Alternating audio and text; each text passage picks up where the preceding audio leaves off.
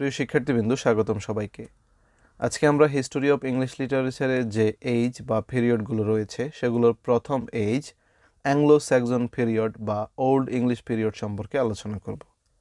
ইতিমধ্যে আমরা জেনেছি অ্যাংলো স্যাকজন পিরিয়ড এটির টাইম রেঞ্জ হচ্ছে চারশো দশ সাল থেকে শুরু হয়ে এক হাজার ছেষট্টি সাল পর্যন্ত।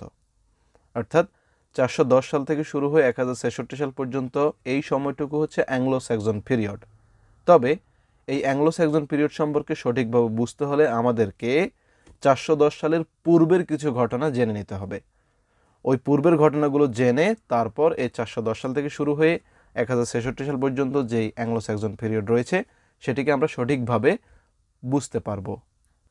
তো এখন আমরা এই চারশো দশ সালের পূর্বের কিছু উল্লেখযোগ্য ঘটনা জানব, যেগুলোর মধ্যে অন্যতম হচ্ছে হিস্টোরি অফ ব্রিটেন এবং রোমান ইম্পায়ারালিজম ইন ব্রিটেন, অর্থাৎ ব্রিটেনের হিস্টোরি এবং ব্রিটেনে যেই রোমান সাম্রাজ্য ছিল, এই দুটি বিষয় আমরা এখন জানব।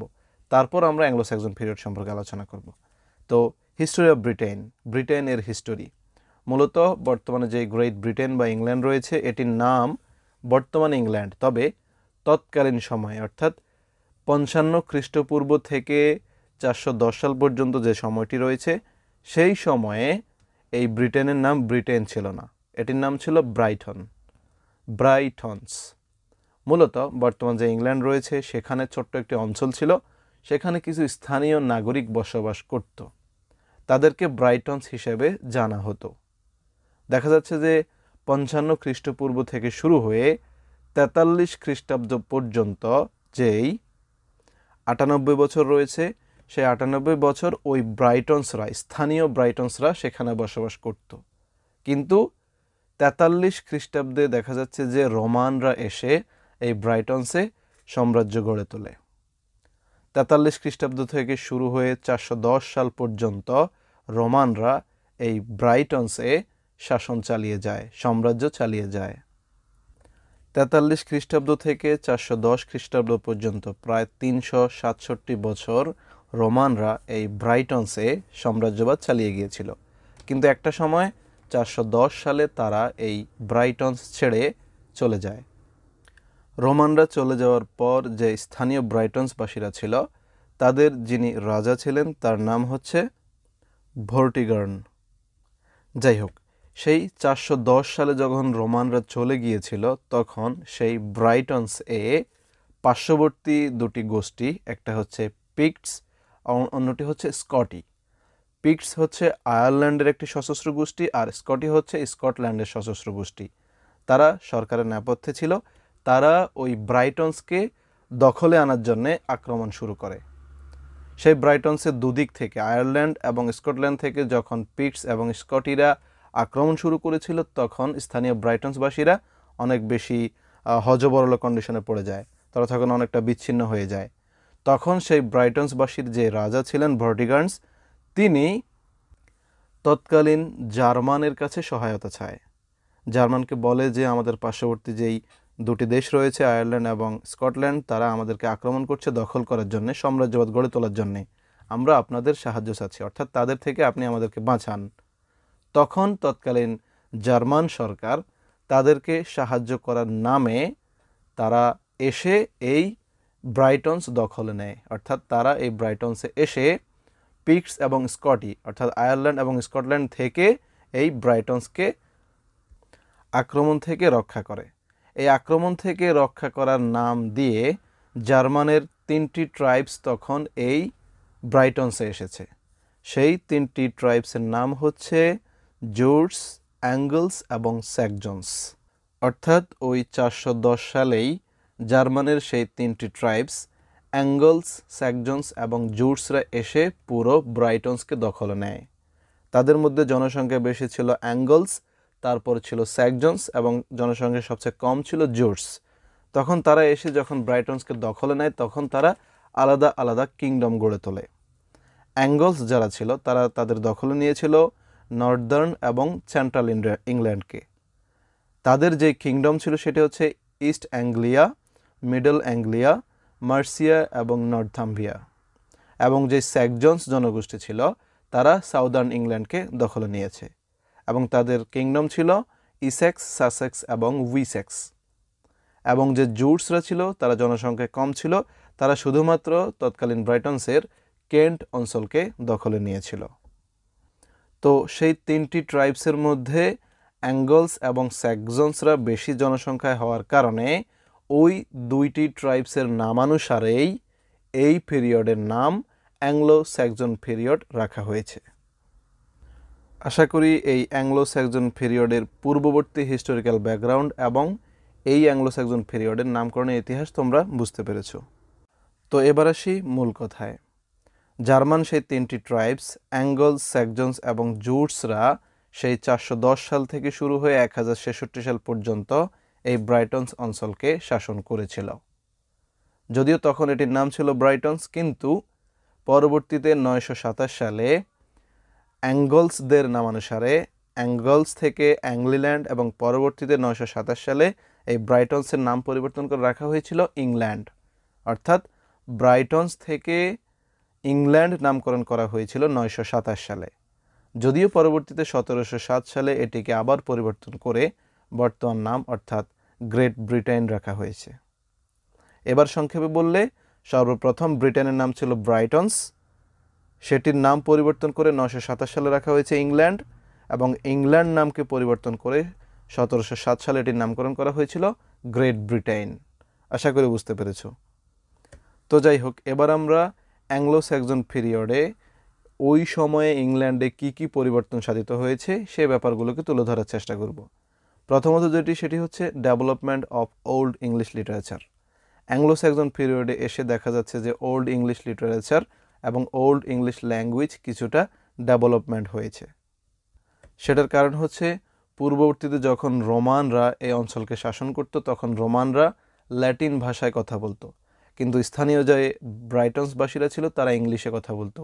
যার কারণে ওই রোমানরা তৎকালীন ইংলিশে তেমন উন্নয়ন সাধন করেনি তারা সব কার্যক্রম ল্যাটিন ভাষায় চালাতো, যার কারণে ওই সময়ে তেমন কোনো ভাষাগত উন্নয়ন হয়নি। কিন্তু পরবর্তীতে যখন অ্যাংলো একজন পিরিয়ড চলছিল, সেই সময়ে তারা যে ডায়ালেক্টগুলো ব্যবহার করতো, সেগুলো স্থানীয় ব্রাইটনসবাসীদের সাথে অনেকটা মিলে যাওয়ার কারণে সেই অ্যাংলো একজন পিরিয়ডে দেখা যাচ্ছে যে ইংলিশ ল্যাঙ্গুয়েজের অনেকটা উন্নতি সাধন হয়েছে।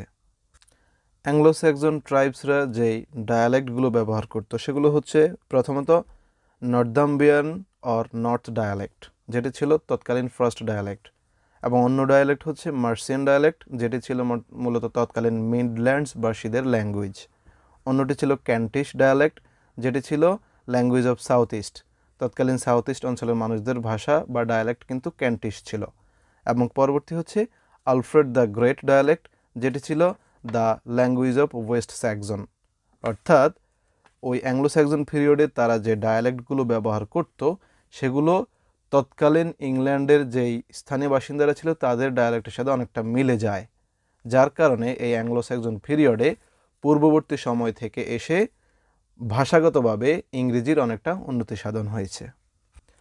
এবার আমরা ওই অ্যাংলো স্যাকজন পিরিয়ডের কিছু ইম্পর্টেন্ট ফ্যাক্টস সম্পর্কে জানব, কিছু গুরুত্বপূর্ণ ঘটনা সম্পর্কে জানব। প্রথম হচ্ছে Christianization of the pagan tribes অর্থাৎ জার্মান থেকে যে ট্রাইবসরা এসেছিল, তারা অনেকটা ছিল প্যাগান জাতি। প্যাগান হচ্ছে তারা বহুশ্বরবাদে বিশ্বাস করত। একেশ্বরবাদে তারা বিশ্বাস করত না।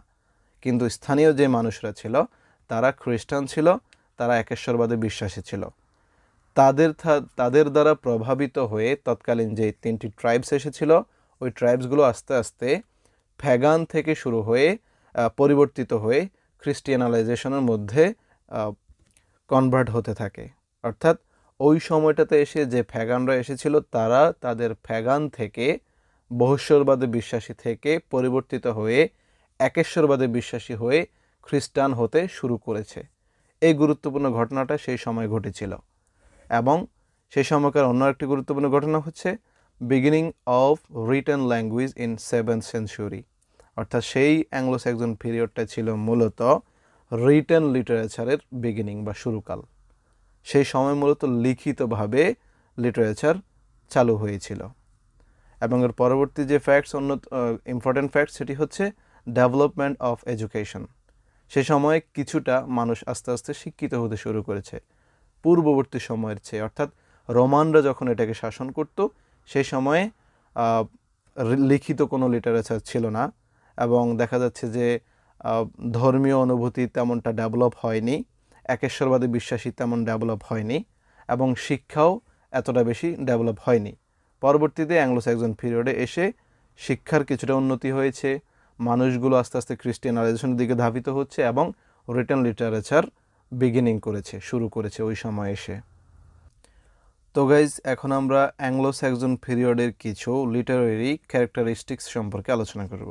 তৎকালীন অ্যাংলো স্যাক্সন পিরিয়ডের যে লিটারেরি ক্যারেক্টারিস্টিক্সগুলো ছিল, সেগুলোর মধ্যে অন্যতম হচ্ছে, প্রথম যেটি, সেটি হচ্ছে little scientific and cultural advancement.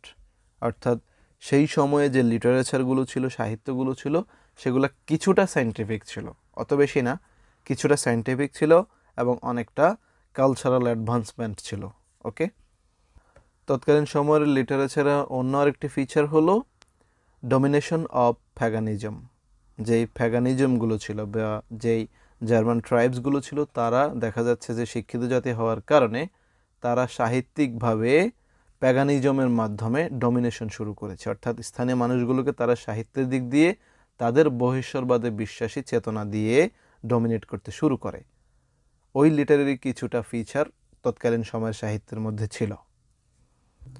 অন্য আরেকটি লিটারেরি ফিচার হচ্ছে স্ট্রং বিলিফ ইন ফেইট ভাগ্যকে বিশ্বাস করা। এটা হচ্ছে মূলত স্থানীয় যে ব্রাইটনসবাসীরা ছিল, যারা একেশ্বরবাদে বিশ্বাসী ছিল, খ্রিস্টান ছিল, তাদের লিখনিতে দেখা যাচ্ছে যে ভাগ্য স্পিরিচুয়ালিটি এই ব্যাপারগুলোতে কিছুটা বিশ্বাস স্থাপন করা হতো তাদের লিখনিতে। এবং সেই পিরিয়ডের অন্য আরেকটি লিটারি ক্যারেক্টারিস্টিক্স হচ্ছে absence of romantic love romantic love এর খুব বেশি অ্যাবসেন্স ছিল। এটার কারণ হচ্ছে যে জার্মান ট্রাইবসরা এসেছিল, তারা জাতিগতভাবে হচ্ছে যোদ্ধা। তাদের মধ্যে যে লেখকরা ছিলেন, তারা তাদের লিখনীগুলোতে যুদ্ধ, গ্লোরি এবং তাদের যে বহিষ্যবাদে বিশ্বাসী ফ্যাগানিজম এগুলোকে তুলে ধরার চেষ্টা করতেন। অন্যদিকে স্থানীয় যে বাসিন্দারা, স্থানীয় যে লেখকরা ছিলেন, তারা তাদের লিখনীগুলোতে বিশেষ করে স্ট্রং বিলিফ ইন ফেইট এবং খ্রিস্টিয়ানালে, খ্রিস্টিয়ানিজম, এই ব্যাপারগুলোকে তুলে ধরার চেষ্টা করতো। অর্থাৎ রিলিজিয়াস বিলিফকে তুলে ধরার চেষ্টা করতো। তাদের এই দুটি মোটিভ এর ভেতরে দেখা যাচ্ছে যে তাদের লিখনীগুলোতে রোমান্টিক লাভের খুব বেশি অ্যাবসেন্স ছিল।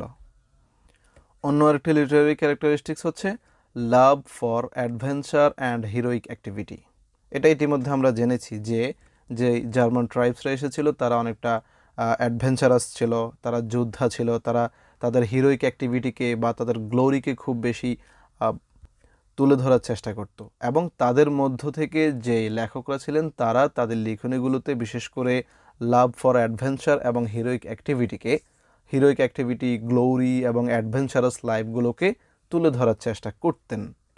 এবং আরেকটি লিটারারি ক্যারেক্টারিস্টিক্স হচ্ছে কমপ্লিকেটেড ল্যাঙ্গুয়েজ। যেহেতু এখানকার স্থানীয় বাসিন্দা এবং বহিরাগত দেশ থেকে আসা বাসিন্দারা রয়েছে, যার কারণে তাদের ভাষাগত অনেকটা বেমিল রয়েছে। দেখা যাচ্ছে যে স্থানীয় যে লেখকরা ছিলেন, তাদের লিখনির ভাষা ছিল এক ধরনের।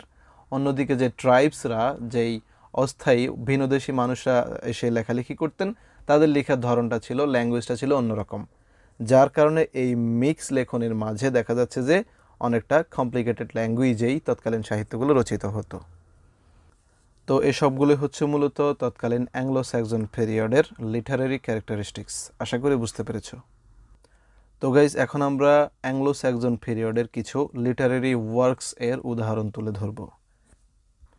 অ্যাংলো স্যাক্সন পিরিয়ডে দেখা যাচ্ছে যে সাহিত্যের মোটামুটি ভালোই উন্নতি সাধিত হয়েছে। সেই সময় অনেকগুলো কাব্যগ্রন্থ, অনেকগুলো প্রবন্ধ গ্রন্থ প্রকাশিত হয়েছে। সেগুলোর মধ্যে অন্যতম হচ্ছে, প্রথম যেটি, সেটি হচ্ছে এক্সিটার বুক এক্সিটার বুক এটি হচ্ছে অনেক বড় একটি কাব্যগ্রন্থ। এবং অন্য আরেকটি হলো জুনিয়াস ম্যানুস্ক্রিপ্ট এটি হচ্ছে একটি ধর্মীয় কাব্যগ্রন্থ। অর্থাৎ স্থানীয় যেই ব্রাইটনসবাসীরা ছিল, তারা তাদের লিখনীগুলোতে যে রিলিজিয়াস বিলিফকে তুলে ধরার চেষ্টা করতেন, সেই রিলিজিয়াস যে পোয়েমগুলো ছিল, কাব্যগুলো ছিল, সেগুলোকে একসাথ করে এই জুনিয়াস ম্যানুস্ক্রিপ্ট কাব্যগ্রন্থটি প্রকাশিত করেছেন। অর্থাৎ এটি হচ্ছে তৎকালীন সময়ের একটি ধর্মীয় কাব্যগ্রন্থ যেখানে বেশিরভাগ কবিতা, প্রায় সবগুলো কবিতা ছিল ধর্মীয়। এবং এর পরবর্তী লিটারারি ওয়ার্ক হচ্ছে ভার্সিলি বুক ভার্সিলি বুক এটিও হচ্ছে একটি কাব্য এবং প্রবন্ধ গ্রন্থ। এবং এর পরবর্তী গুরুত্বপূর্ণ লিটারারি ওয়ার্ক হচ্ছে নোয়েল কোডেক্স নোয়েল কোডেক্স এটি হচ্ছে অনেক বিশাল একটি কাব্যগ্রন্থ এবং এই কাব্যগ্রন্থেই বিখ্যাত লিটারারি ওয়ার্ক বিওল্ফ অন্তর্ভুক্ত ছিল। বিওল্ফ, যেটি সম্পর্কে তোমরা সামনেও জানতে পারবে, এবং মাস্টার্সে তোমাদের এই টপিকটি অলরেডি রয়েছে। এই বিওল্ফ এই নোবেল কোডেক্স কাব্যগ্রন্থের অন্তর্ভুক্ত ছিল। তো এসবগুলোই হচ্ছে তৎকালীন অ্যাংলো স্যাক্সন পিরিয়ডের বড় বড় লিটারারি ওয়ার্কস বা কাব্যগ্রন্থ এবং প্রবন্ধ গ্রন্থগুলো। তো গাইজ এখন আমরা অ্যাংলো স্যাক্সন পিরিয়ডের কিছু ফেমাস রাইটার্স কিছু পোয়েটস এবং তাদের কিছু গ্রেট ওয়ার্কস তুলে ধরার চেষ্টা করব। তাদের মধ্যে প্রথমে যিনি আসেন তিনি হচ্ছেন কেইডমন কেইডমন তিনি ছিলেন মূলত the father of Old English poetry. Old English পোয়েটের father এই কেইডমনকে বলা হয়ে থাকে। এর পরবর্তীতে যার নাম আসে তিনি হচ্ছেন ব্যানারেবল বেইড ব্যানারেবল বেইড তিনি হচ্ছেন মূলত the famous historian of the age. তৎকালীন অ্যাংলো স্যাক্সন পিরিয়ডের ফেমাস হিস্টোরিয়ান পোয়েট মূলত এই ব্যানারেবল বেইডকে বলা হয়ে থাকে। তার একটি গুরুত্বপূর্ণ ওয়ার্ক হচ্ছে ecclesiastical history of English people এটি হচ্ছে তার একটি বিখ্যাত হিস্টোরিক্যাল ওয়ার্ক এবং এর পরবর্তীতে যার নাম আসে তিনি হচ্ছেন সিনিওলফ। সিনিওলফ তিনি হচ্ছেন মূলত the most famous poet of the age ওই সময়কার সবচাইতে ফেমাস পয়েট তিনি ছিলেন। তার কিছু গুরুত্বপূর্ণ ওয়ার্ক হচ্ছে যেমন the dream of the rood the Christ and Juliana এ দুটি হচ্ছে তার বিখ্যাত কবিতা। এবং এর পরবর্তীতে যার নাম আসে তিনি হলেন কিং আলফ্রেড।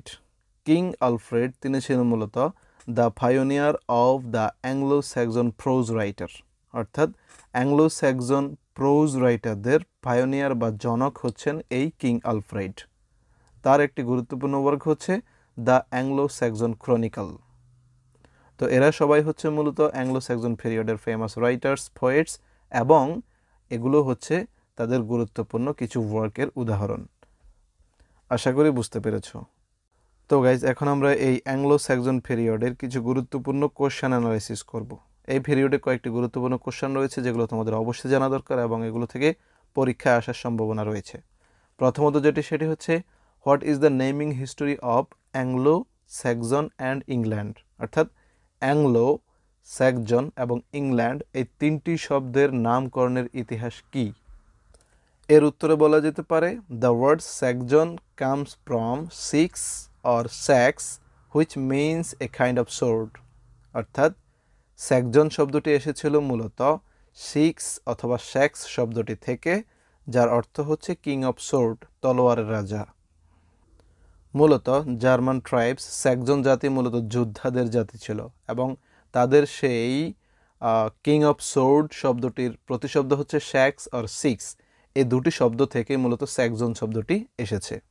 অন্যদিকে the word angle comes from the Saxon word angul R অঙ্গুল which means hook অর্থাৎ অ্যাঙ্গল শব্দটি এসেছিল স্যাকজন একটি ওয়ার্ড যেটি হচ্ছে অ্যাঙ্গুল আর অনগুল যেটির মানে হচ্ছে হুক এটির ঘটনা হচ্ছে মূলত যে জার্মান ট্রাইবসরা ছিল সেই অ্যাঙ্গলস এবং স্যাকজনস তারা যেমন যোদ্ধা ছিলেন তেমন তারা শিকারীও ছিলেন। তারা সমুদ্রে মাছ শিকারে বের হতেন।